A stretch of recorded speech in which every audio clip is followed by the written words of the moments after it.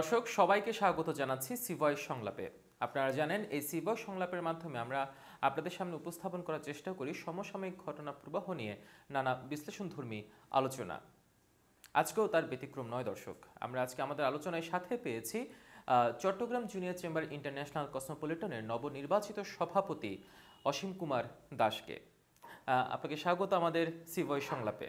ধন্যবাদ আমাকে আমন্ত্রণ জানানোর জন্য। সি ভয়েসকেও ধন্যবাদ। এবং সব দর্শক শ্রোতাদেরকেও আমার পক্ষ থেকে আন্তরিক শুভেচ্ছা। শুরুতেই আপনাকে অভিনন্দন জানাচ্ছি নবনির্বাচিত সভাপতি হিসেবে আপনার দায়িত্বভার গ্রহণ করার জন্য। আপনার কাছে আমি প্রথমে যে বিষয়টি জানতে চাইব আপনি তো খুব জুনিয়র চেম্বার ইন্টারন্যাশনাল আমরা জানি যে তরুণ উদ্যোক্তাদের জন্য একটা খুব ভালো একটি প্ল্যাটফর্ম চট্টগ্রামে যারা তরুণ উদ্যোক্তা আছে, তাদের সমন্বয়ে তৈরি করা একটি সংগঠন। তো কেমন লাগছে এই সংগঠনের সভাপতি হতে পেরে? এটা আমি বলব একটা বড় দায়িত্ব আমার জন্য। এটা আপনারা জানেন, আঠারো থেকে চল্লিশ বছর বয়স যাদের, তাদেরই এই সংগঠন তরুণ উদ্যোক্তাদের সংগঠন। তো এটার যে ফাউন্ডার ছিলেন হেনরি গেসেনভিয়ার আপনার নাইনটিন ফিফটিনে ইউএসএতে এটা প্ল্যাটফর্ম রেডি করছেন। এরপরে ধারাবাহিকভাবে বিভিন্ন দেশে কার্যক্রম চলতেছে। এখন প্রায় একশো বিশটা দেশে প্রায় দুই লক্ষ মেম্বার আছে। তো এটা অবশ্যই ভালো লাগতেছে এরকম একটা অর্গানাইজেশনকে রিপ্রেজেন্ট করতে পারতেছি। তো ভবিষ্যতে ইচ্ছা আছে আরও ভালো কিছু করে সংগঠনটাকে এগিয়ে নিয়ে যাব তরুণ উদ্যোক্তাদের জন্য কিছু করার। তরুণ উদ্যোক্তাদের যেহেতু একটা বেশ প্ল্যাটফর্ম হচ্ছে জুনিয়র চেম্বার ইন্টারন্যাশনাল তো আপনি নিজেকে কীভাবে তরুণ উদ্যোক্তা হিসেবে তৈরি করে নিয়েছেন? তার শুরুর দিকের গল্পটা যদি আমাদের মাধ্যমে দর্শকদের সামনে আপনি উপস্থাপন করেন। আমি পড়াশোনা শেষ করছি দুই হাজার ছয়ে। তো আমার যেটা হয়েছে, আমি ইউনিভার্সিটিতে বিবিএ কমপ্লিট করেছি নর্থ সাউথ ইউনিভার্সিটি থেকে এরপর এম করা। তো পাশাপাশি তখন চিন্তা ছিল যে আমি কোনো জায়গায় জব করব বাট আমার বাবা বললেন যে ব্যবসা শুরু করতে। তো বাবার ব্যবসায় আসলে সরাসরি অংশগ্রহণ না করে আমি চিন্তা করলাম নিজে কিছু করার। তখন আমার ব্যবসার হাতে করি, যদিও বাপের থেকে শিখছি আমি। তো আমি ইন্ডেন্ডিং ব্যবসার সাথে জড়িত হই। এটা একটা ইন্টারন্যাশনাল ব্রোকার এবং কমোডিটি অ্যানালিস্ট হিসেবে কাজ করি। একজন ইম্পোর্টার এবং এক্সপোর্টারের মাঝখানে ব্রিজ হিসেবে কাজ করা আর ওদেরকে সহযোগিতা করা যে what to buy when to buy and how to buy decision মেকিংয়ে তো উদ্যোক্তা হওয়ার চিন্তাটা এই কারণে আসছে যেহেতু আমার পরিবার ব্যবসার সাথে জড়িত। আর দুই নম্বর আরেকটা জিনিস হচ্ছে আমি যদি চাকরি করতে যাই, আমার কিছু সীমাবদ্ধতা থাকবে। হ্যাঁ তো ওই জায়গা থেকে আমি আসলে ব্যবসা করার সিদ্ধান্ত নিই। এবং পর্যায়ক্রমে আমি এক ব্যবসা থেকে অন্য ব্যবসার সাথে জড়িত হই। যেমন আমার, আপনার সার্ভিস প্ল্যাটফর্ম সেবা এক্সওয়াইজেড নামে ঢাকায় একটা কোম্পানি আছে। তারপর আমার রেস্টুরেন্ট ব্যবসার সাথে জড়িত হই। আমার বেসিক যেটা প্রাইমারি ব্যবসা সেটা হচ্ছে কমোডিটি বিজনেস যেটা আমরা অ্যাগ্রো প্রোডাক্ট নিয়ে কাজ করি। তো এভাবে একটার পর একটা আসলে আমি জড়িত হই, আমার ইন্টারেস্টও গ্রো করে, আমার জানারও আগ্রহ ছিল। তো এভাবে আস্তে আস্তে শুরু হয় আর কি আমার। আপনি বলেছেন নর্থ সাউথ ইউনিভার্সিটি থেকে আপনি বিবিএমবি কমপ্লিট করেছেন, অর্থাৎ ব্যবসা অনুষদ আপনার পড়াশোনা। এবং এরপর আপনার বাবার পারিবারিক ব্যবসায় সম্পৃক্ত হতে গিয়ে নিজেকে তরুণ উদ্যোক্তা হিসেবে তৈরি করেছেন। কিন্তু আপনার কাছে প্রশ্ন হলো, কেন নিজেকে গতানুগতিক চাকরি কেন্দ্রিক চিন্তাধারায় সীমাবদ্ধ না রেখে তরুণ উদ্যোক্তা হিসেবে গড়ে তোলার যে গড়ে তোলার মন মানসিকতা তৈরি হলো আপনার মধ্যে? আপনি যদি চাকরি করেন, আপনার কিন্তু কিছু সীমাবদ্ধতা আছে। প্রথম সীমাবদ্ধতা হচ্ছে আপনার চিন্তা চেতনা। আপনি যখন একটা কোম্পানিতে জব করবেন, তখন ওদের কোম্পানির একটা ফ্রেমওয়ার্কের ভিতর আপনাকে কাজ করতে হবে। যদি আপনি নিজস্ব একটা কোম্পানি ক্রিয়েট করেন, আপনার এখানে থিঙ্কিং লেভেল আনলিমিটেড আপনি যে কোনো কিছুই চাইলে করতে পারেন। হুম, তো আমার কাছে সবসময় যেহেতু স্বাধীনচেতা ছিলাম হ্যাঁ ঢাকায় যখন আমি আন্ডারগ্রেড করার জন্য যাই, তখন থেকে একটা স্বাধীন চেতা ভাবটা গড়ে ওঠে। তখন থেকে চিন্তা করলাম যে, আমি যদি একটা ব্যবসা করি, তাহলে ওই ব্যবসার আমার যতটুক চিন্তাধারা আছে, ওটাকে কাজে লাগাই সম্পূর্ণভাবে। একটা প্রতিষ্ঠান দাঁড় করাতে পারব। আর একজন উদ্যোক্তা হিসেবে যদি আমি একটা ব্যবসা প্রতিষ্ঠান দাঁড় করাইতে পারি, আমি কিন্তু সবচেয়ে বড় কাজ যেটা করতে পারব এমপ্লয়মেন্ট অপরচুনিটি ক্রিয়েট করতে পারব। কর্মসংস্থানের সুযোগ হবে। আমি যদি কারও কোম্পানিতে জব করি, আমি কিন্তু নিজে ক্রিয়েট করতে পারব না কর্মসংস্থান। যদি আমি নিজস্ব একটা প্রতিষ্ঠান দাঁড় করাই, আজকে আমার প্রতিষ্ঠানে ঢাকা এবং চট্টগ্রাম এবং অন্যান্য জায়গায় মিলে প্রায় দুইশো জন আপনার কর্মচারী, কর্মকর্তাবৃন্দ কাজ করছেন তো এটা সম্ভব হয়েছে কিন্তু আমার ব্যবসা শুরুর কারণেই। যদি আমি নিজেকে একটা কোম্পানিতে চিন্তা করতাম যে একটা মাল্টিন্যাশনাল কোম্পানিতে জব করব, এই সুযোগও ছিল, হুম টেলিকম সেক্টরে কিংবা ব্যাংকিং সেক্টরে আমার বন্ধুবান্ধবও কাজ করছে। তো আমি এরকম যদি নিজেকে ওই জায়গায় চিন্তা করতাম, আজকে হয়তো এরকম এন্টারপ্রেনার হিসেবে উদ্যোক্তা হিসেবে আসতে পারতাম না কিংবা এরকম একটা অর্গানাইজেশনে হয়তো পোস্ট হোল্ড করতে পারতাম না। So it has lot of things to see মানে কর্পোরেট জগতের ধ্যান ধারণাকে বাদ দিয়ে, অর্থাৎ তথাকথিত চাকরি কেন্দ্রিক মন মানসিকতাকে বিসর্জন দিয়ে আপনি নিজেকে একজন ব্যবসায়ী হিসেবে সুপ্রতিষ্ঠিত করেছে। আপনার কথা ধরে বলতে চাই যে, আপনি বলেছেন আপনাকে কেন্দ্র করে দুশো জন মানুষ পরিচালিত হয়। তাদের মানে আপনার একজনের জন্য দুশো জন মানুষের স্বপ্ন লালিত হয়। আপনার একজনকে দিয়ে দুশো জন মানুষের সংসার আহ, পরিচালিত হয়। এটা এটাই তো আসলে মানে প্রধানমন্ত্রী শেখ হাসিনা যেটি বলেছেন যে আপনারা উদ্যোক্তা হিসেবে গড়ে উঠুন চাকরির পিছনে না ছুটে। মানে এই বিষয়টিকে আপনি কীভাবে মূল্যায়ন করবেন? আপনার আপনি আপনাকে বিবেচনা করে। এটা আমি আহ, এটা ক্ষেত্র বিশেষে প্রযোজ্য। সবার জন্য আসলে উদ্যোক্তা হওয়াটা অনেক বেশি চ্যালেঞ্জিং কারণ এটার পিছনে কিছু জিনিস থাকে। আপনার উদ্যোক্তা হতে গেলে আপনাকে একটা লেভেলের ক্যাপাসিটি রিস্ক টেকিং ক্যাপাসিটি থাকতে হবে ডিসিশন মেকিং ক্যাপাবিলিটি থাকতে হবে। একটা ছেলে কিংবা মেয়ের এই জিনিসগুলো যদি না থাকে নিজের মধ্যে, সে চেষ্টা করলেও কিন্তু একটা সময় গিয়ে কিন্তু ফেলিওর হবে।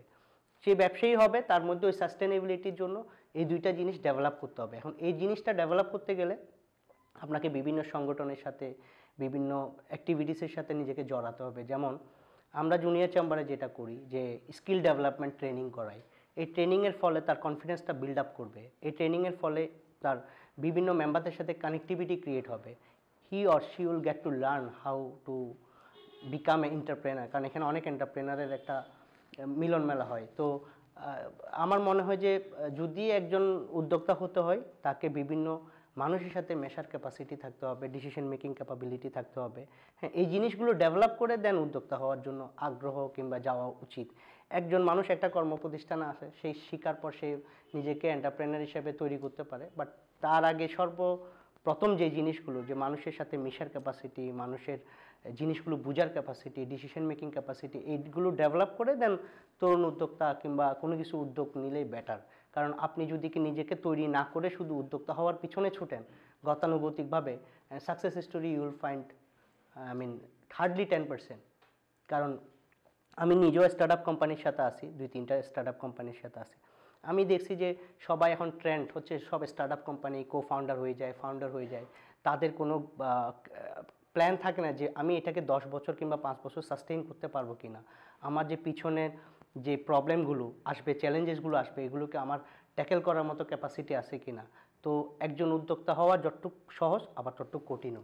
You have to face lot of challenges হ্যাঁ চ্যালেঞ্জ নেওয়ার মতো যদি ক্যাপাসিটি থাকে ইন্টারেস্ট থাকে I welcome everybody to become entrepreneur but at the same time you have to understand the things in future মানে আপনার কথাই হচ্ছে মানুষের লক্ষ্য স্থির থাকতে এবং দূরদর্শী সম্পন্ন হতে হবে। You have to have goal এবং লক্ষ্য স্থির রেখে দূরদর্শিতাও থাকতে হবে এবং সবচেয়ে সে বিষয়টাকে ধারণ করতে হবে যে মানে শুধু কোফাউন্ডার হলে হবে না মানে স্বপ্ন দেখলে হবে না স্বপ্নটার পিছনে ছুটতে হবে।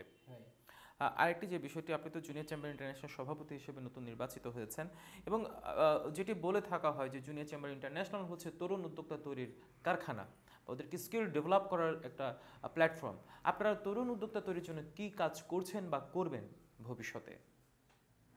যেমনটি আপনাকে বলেছি আগে যে আমার জুনিয়র চেম্বার ইন্টারন্যাশনালের বেসিক তিনটা আমরা কাজ করি। একটা হচ্ছে কানেক্টিভিটি ক্রিয়েট করা between all the young people community development নিয়ে কাজ করি। আর তিন নম্বর যেটা, সেটা হচ্ছে স্কিল ডেভেলপমেন্ট আমাদের বিভিন্ন রকম ট্রেনিং হয়। Leadership training effective communication training ওই ট্রেনিংগুলোর মাধ্যমে কিন্তু আপনি নিজেকে অনেক কিছু ডেভেলপ করতে পারেন। হ্যাঁ এইগুলো কিন্তু একজন এন্টারপ্রেনারের জন্য খুব বেশি ইম্পর্টেন্ট আমরা হয় কি, আমরা ইউনিভার্সিটি কিন্তু গতানুগতিক, পড়াশোনা শেষ করে সার্টিফিকেট পাওয়ার জন্য কিংবা পড়াশোনা শেষ করার পরে কিন্তু আমাদের আর কোনো অর্গানাইজেশন কিংবা কোনো ইনস্টিটিউশন নাই যারা কিনা আমাদেরকে সেলফ ডেভেলপমেন্টের নিয়ে কাজ করে। তো এই এই জুনিয়র চেম্বার থেকে কিন্তু আপনি এই বুস্টাপটা পাবেন। নিজেকে কানেক্টিভ করার জন্য টু ডিফারেন্ট সেক্টর হ্যাঁ আমাদের এখানে শুধুমাত্র যে এক শ্রেণির ব্যবসায়ীরা আছে তা না, আমাদের এখানে বিভিন্ন সেক্টরের মানুষজন আছে। So you will be connected more diversified way তো যেটা হয় কি আপনার নিজে যদি উদ্যোক্তা হতে হয়, এই ডেভেলপমেন্ট ট্রেনিংয়ের মাধ্যমে আপনি করে হ্যাঁ আমাদের কিন্তু ইন্টারন্যাশনাল দুইটা কনফারেন্স হয়। একটা হচ্ছে ওয়ার্ল্ড কংগ্রেস একটা হচ্ছে এশিয়ান কনফারেন্স এখানেও অনেকগুলো ট্রেনিং হয়। ওই ট্রেনিংগুলো করার ফলে আপনি বাইরের অনেক কিছু জানার সুযোগ হয় কানেকশনের সুযোগ হয়। হয়তো আপনার এরকম মানুষের সাথে পরিচয় হলো, একটা অ্যাসপেক্ট কিংবা ওয়ার্ল্ড কংগ্রেসে যাওয়ার ফলে একটা ট্রেনিং করলেন হয়তো আপনার সামনে একটা সুযোগ চলে আসলো, একটা নতুন প্রোডাক্ট লাইন নিয়ে কাজ করা, একটা সার্ভিস নিয়ে কাজ করা, একটা নতুন আইডিয়া নিয়ে কাজ করা, এটা নিয়ে ভাবার। তো এই সুযোগগুলো কিন্তু আমরা করে দিই হ্যাঁ এই সংগঠনের মাধ্যমে। আরেকটি যে বিষয়টি জানতে চাইব, আপনি তো নিজেও একজন তরুণ উদ্যোক্তা হিসেবে নিজেকে গড়ে তুলেছেন স্বল্প সময়ে এবং বেশ সফলতার সাথে কিছু স্টার্ট আপ ব্যবসাও পরিচালনা করছেন এবং কিছু অন্যান্য ব্যবসাও আপনি পরিচালিত করছেন। তো একজন তরুণ উদ্যোক্তা হিসেবে গড়ে ওঠার জন্য কি কি গুণাবলী থাকা দরকার বলে মনে করেন আপনি? আমি মনে করি সর্বপ্রথম যে জিনিসটা অনেস্টি থাকতে হবে। এটা মেইন জিনিস, কারণ একটা উদ্যোক্তা হতে গেলে সে যদি শুরুতে ডিসঅনেস্ট হয়, সে রিপুটেশন নষ্ট করে ফেলবে নিজের, যেটা ফিউচারে খুব প্রবলেমে ফেলবে। তো অনেস্টি সিনসিয়ারিটি টাইম ম্যানেজমেন্ট আপনি যখন চাকরি করবেন, এক ধরনের টাইম ফ্রেমের ভিতর আপনাকে চলতে হবে। যখন আপনি উদ্যোক্তা হবেন, ব্যবসায়ী হবেন, তখন কিন্তু আপনার টাইম ম্যানেজমেন্টটা কিন্তু অন্যরকম। আপনি যদি একটা জব করেন হয়তো নয়টা থেকে পাঁচটা পর্যন্ত, এরপর আউট অফ অফিস আপনার রেসপন্সিবিলিটি রোল অনেকাংশে কমে যায়। কিন্তু বিজনেসে কিন্তু এটা না। বিজনেস টোয়েন্টি ফোর সেভেন চলতে থাকে। হ্যাঁ আমার বিভিন্ন কল অ্যাটেন্ড করতে হয়। হ্যাঁ বিভিন্ন মিটিং থাকে। তো এটা রেসপন্সিবিলিটি বেড়ে যায়। তো আমি মনে করি একটা উদ্যোক্তা হতে গেলে আপনাকে টাইম ম্যানেজমেন্ট জানতে হবে। আপনাকে সৎ হইতে হবে। এবং হার্ডওয়ার্ক হার্ডওয়ার্কের পিছনে আর আশেপাশে কেউ নেই। হার্ডওয়ার্কেই করতে হবে। হার্ডওয়ার্কিং ইজ ভেরি ইম্পর্ট্যান্ট কারণ আপনি যদি পরিশ্রমী না হন, আপনি যদি অলসভাবে আপনার জীবনযাপন করেন, আপনি কখনোই একজন ভালো উদ্যোক্তা কিংবা ব্যবসায়ী হতে পারবেন না। দেখুন, আপনি যেহেতু একটা জায়গায় আছেন, আপনি আপনার আশেপাশে নিশ্চয়ই আরও অনেক তরুণ উদ্যোক্তাকে দেখছেন। তাদের সাথে নিয়ে কিন্তু আপনি পথ চলছেন। তো আপনার ক্ষেত্রটা হয়তো ভিন্ন। আপনি হয়তো পারিবারিকভাবে একটা সাপোর্ট পেয়ে এসছেন যে কোনোভাবে আর্থিকভাবে। এটা কিন্তু একটা বড় শক্তি। কিন্তু ধরুন, যারা নতুন মধ্যবিত্ত পরিবারের কিংবা দরিদ্র পরিবার থেকে উঠে আসছে ইউনিভার্সিটিতে পড়ছে, তারা কিন্তু বছরের পর বছর অনেকেই আছে ভালো রেজাল্ট করছে, চাকরি পাচ্ছে না কোথাও, হতাশ হয়ে পড়ছে। এটা কিন্তু আমাদের দেশের অন্যরকম একটা চিত্র। যে কারণেই প্রধানমন্ত্রী বলেছেন যে উদ্যোক্তা হয়ে তৈরি হও চাকরির পিছনে না ছুটে মেধাটাকে উদ্যোক্তাতে কাজে লাগাও।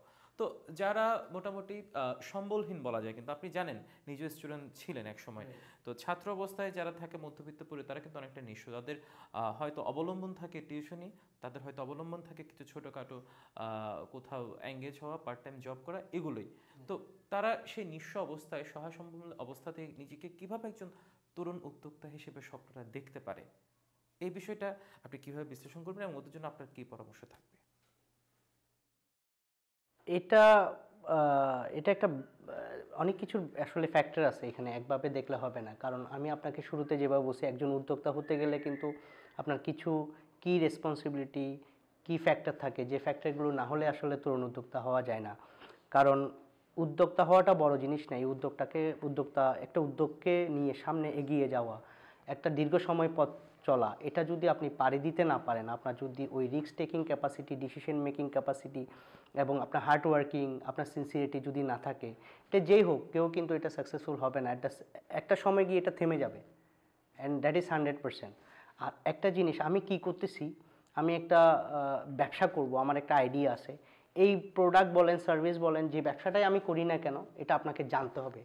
You have to have proper knowledge এটার কম্পিটিটার কারা, এটা মার্কেটে আমি কার সাথে চ্যালেঞ্জেস ফেস করব, এই জিনিসগুলো খুব জানা জরুরি। এখন আপনি যেটা বললেন যে যাদের ব্যাকগ্রাউন্ড নাই বিজনেস ব্যাকগ্রাউন্ড নাই, একটা আইডিয়া থেকে ব্যবসা করতে আসবে, তারাও তরুণ উদ্যোক্তা হতে গেলে তাদের কি কি করা উচিত? তাদের প্রচুর মানুষের সাথে মিশতে হবে সর্বপ্রথম। কারণ আপনার যত বেশি কানেক্টিভিটি ক্রিয়েট হবে, যত বেশি মানুষের সাথে মেশার সুযোগ হবে, তত বেশি আপনি আইডিয়া জেনারেট করতে পারবেন। যেমন আপনি একটা কোম্পানি যদি ফর্ম করেন, আপনার ট্রেড লাইসেন্স করতে হবে, আপনাকে কিছু গভর্নমেন্ট ব্যুরোক্রেটিক লাইসেন্সিং করা থেকে শুরু করে, এটা একটা অফিস করা থেকে শুরু করে, এটার ফান্ডিংয়ের একটা ব্যাপার আছে। তো আপনি যদি অনেক মানুষের সাথে কানেক্টেড থাকেন, হয়তো এরকম হয়েছে যে আপনার আইডিয়াটা অনেক ভালো। হ্যাঁ আপনি যদি কারোর সাথে শেয়ার করেন, হয়তো একজন ইনভেস্টার আপনার সাথে চাইলে ইনভেস্টমেন্ট অপরচুনিটিতে আসতে পারে হ্যাঁ।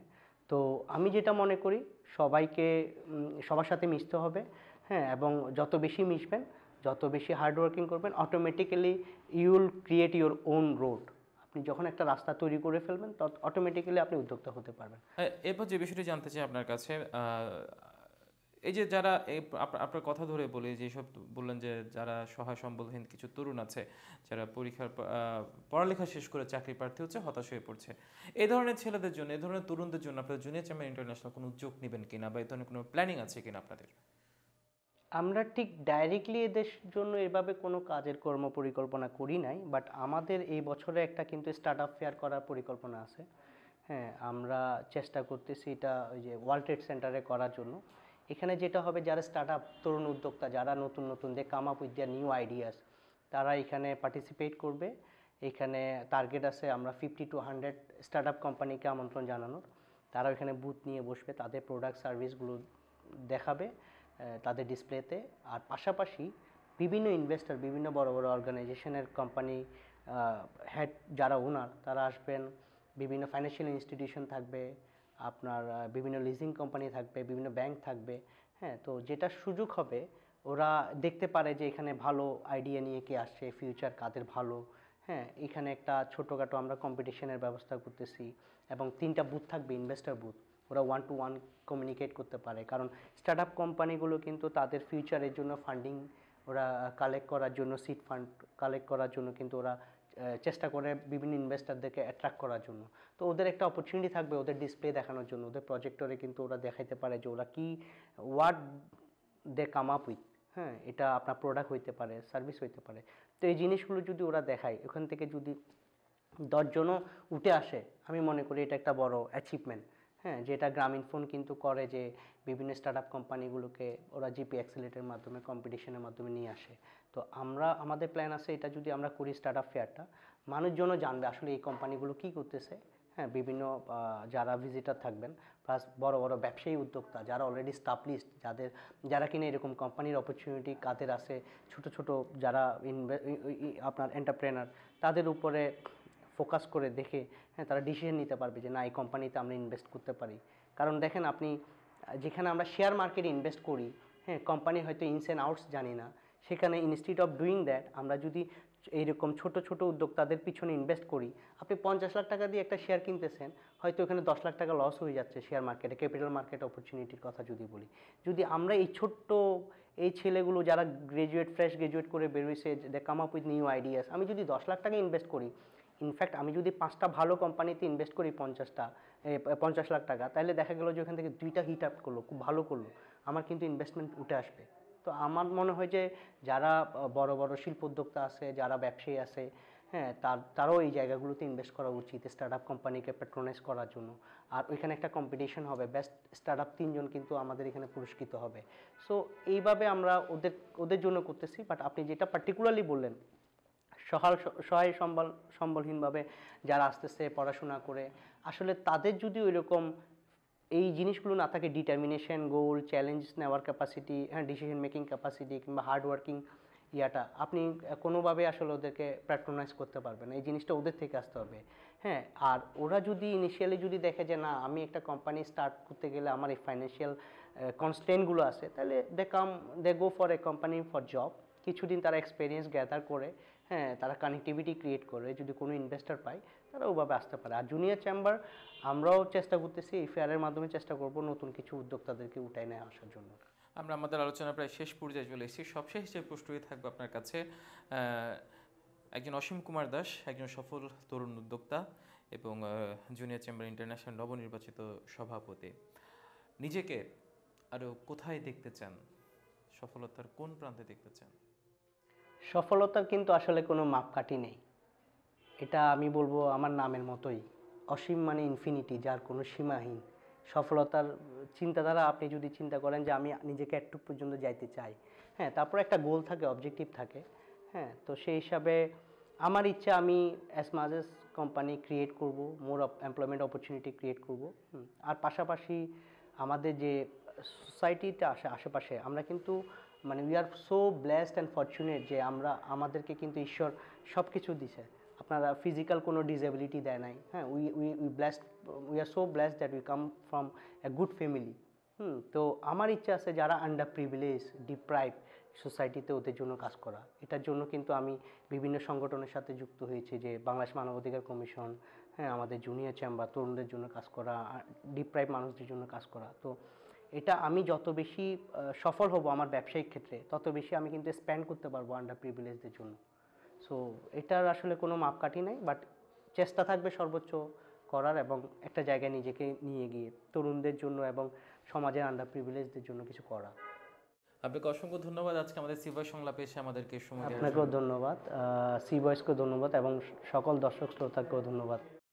দর্শক, আমরা এতক্ষণ কথা বলছিলাম জুনিয়র চেম্বার ইন্টারন্যাশনাল চট্টগ্রাম কসমোপলিটনের নবনির্বাচিত সভাপতি অসীম কুমার দাসের সাথে। তিনি যেমনটি জানাচ্ছিলেন যে একজন তরুণ উদ্যোক্তা হিসেবে গড়ে ওঠার জন্য সর্বপ্রথম যেটি লাগবে তার নিষ্ঠা, তার সৎসাহস এবং লক্ষ্য। সে যদি লক্ষ্যে অবিচল থাকে, তবেই সে একজন ভালো তরুণ উদ্যোক্তা হিসেবে গড়ে উঠতে পারবে। আজ এ পর্যন্তই। ভালো থাকবেন, সুস্থ থাকবেন, দেখা হবে আগামী কোনো পর্বে অন্য কোনো ব্যক্তিত্বের সাথে। শুভেচ্ছা সবাইকে।